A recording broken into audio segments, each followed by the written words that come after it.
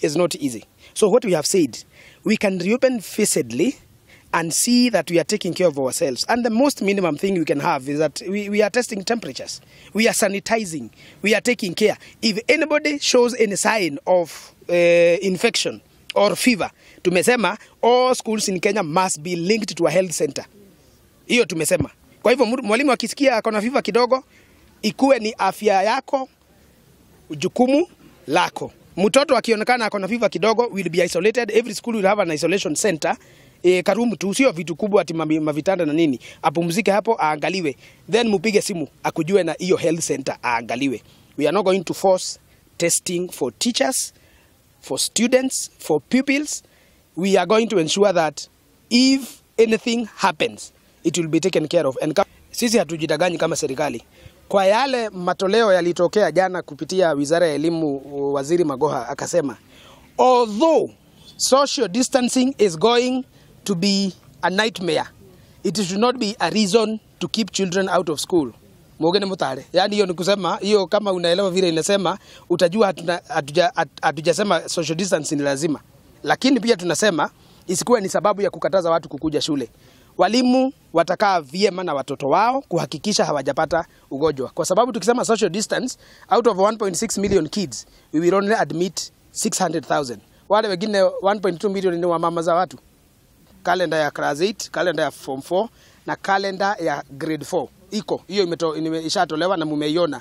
Nimesema tunaanza leo, term 3 inaisha ja, eh, December, term 3, term 2 inaisha December, term 3 inaanza January, inaisha March. Hapo Machi ndio mitihani inafanyiwa, si hapo nimesema? Bas, hii kitu ingine ya kusema ati mask ziko hapa haziko pale, sisi tulisema hivi, tulikuwa tuna mpango wa kutoa mask kwa kila mtoto Kenya mzima, mask mbili mbili, na tukafanya hesabu ikakuja bilioni mbili. Wakati tulisema tunataka kununulia watu mask bilioni mbili, watu wakaruka juu kama pembe, wakasema serikali inapoteza pesa, mnataka kukula, zilienda zikateremka, tukawachana hiyo mradi, tukasema we are not going to ask Kenyans to pay extra money for hii kitu. Tukasema hivi, tunaomba watu walio Kenya mzima na nje ya Kenya watusaidie kwa wale watoto ambao hawezi pata mask. The truth is, watu wengi hata nyinyi mnanisikiza, tunaweza nunulia watoto wetu mask mbili kila mwezi rewashable kama hii sasa reusable and washable and they are costing as less as 16 shillings ile mzuri ambayo KEBS imepitisha, lakini wale hawataweza. Maanake tunajua Kenya kuna watu ambao ni hohehahe kabisa, na tunaomba kuwaondoa hapo by 2026 kila mtu atapata kupitia misaada ya watu kama United Nations eh, Science Technology, UNESCO. Tutapata pia kwa marafiki, hata mimi kama Zaki Kinuthia, eh, msaidizi wa elimu, nikijua kweli kuna mtoto anahitaji, nitamnunulia gunia mzima ya mask.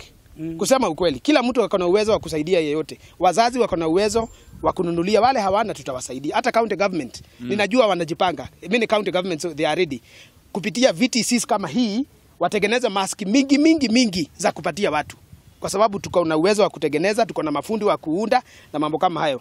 Kwa hivyo tunawaombea watoto mande warudi vizuri, kumekaa nyumbani miezi sita. Sasa nendeni mkafanye kazi ile ambayo inafanya elimu ingie kwa kichwa, na sisi kama serikali kuu na serikali za ugatuzi tuko na nyinyi mia kwa mia hadi mumalize masomo yenu hawa wengine ambao ndio wako na haraka sana, tuwaokoe, waache kusikia ni kama mwaka umepotea kwao. Hata nyinyi mtarudi, hata kijana yule naona pale, mtarudi wote, msijali. Lakini while you are still at home, mkuwe mnajitayarisha kimawazo kurudi. Universities zimerudi na zilianza Monday, especially examination classes. VTC kama hii, walimu wameanza kutengeneza mitihani ya NEC, NITA, warudisha watoto as early as Monday yenye imepita. Ufuguzi wa mashule haturudi nyuma, lakini lazima tujichunge kwa shule.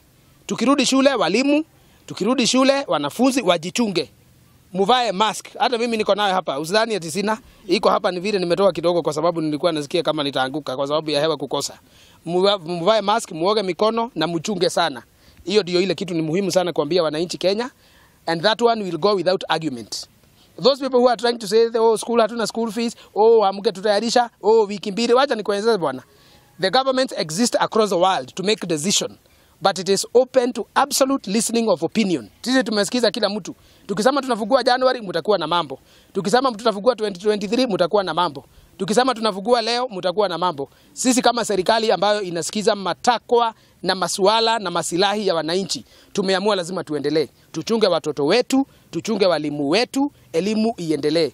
Na tukifikia mwaka wa 2022 mwisho wa Disemba tutakuwa tumerecover time yote ile tumepoteza. Kila mtu atafugua 2023 akiwa pahali alifaa kufugua hata kama corona haingefanyika. So hivi in 2023 ulifaa kuwa class 7 uko class 3 ama 4 utakuwa class 7 saa hiyo.